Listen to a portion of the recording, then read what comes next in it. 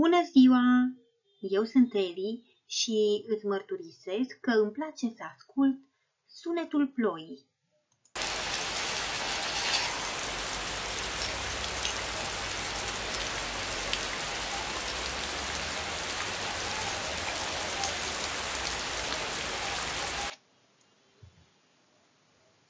Tu cum te simți când plouă?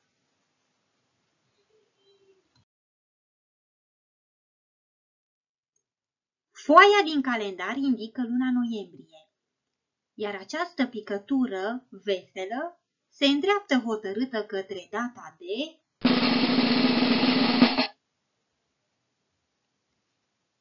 treisprezece noiembrie.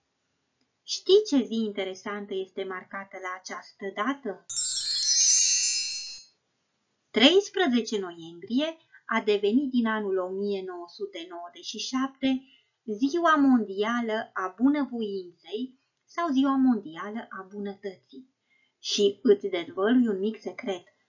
Picătura din calendar este de fapt un strop de bunătate.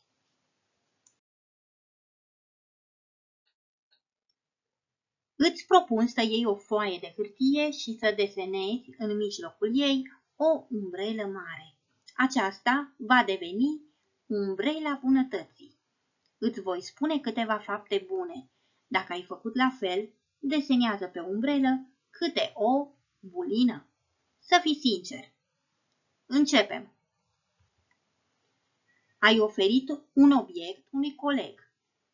Ai ajutat o persoană adultă să ducă gunoiul. Ai mulțumit vânzătoarei.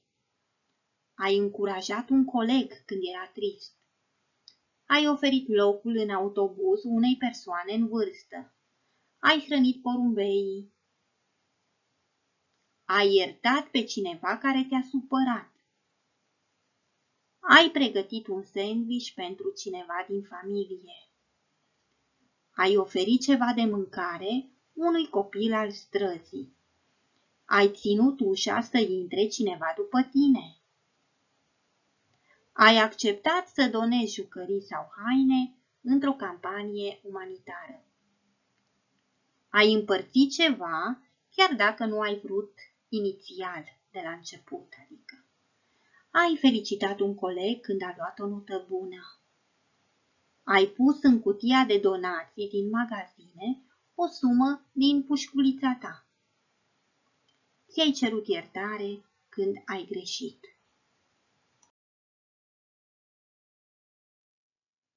Cum arată umbrela ta?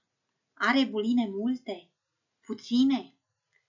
Cu siguranță vei completa umbrela începând chiar de azi, deoarece ai descoperit că a fi bun, a avea un strop de bunătate, înseamnă să fii amabil, să fii generos, să ajuți fără a aștepta ceva în schimb, să fii atent la persoanele din jurul tău.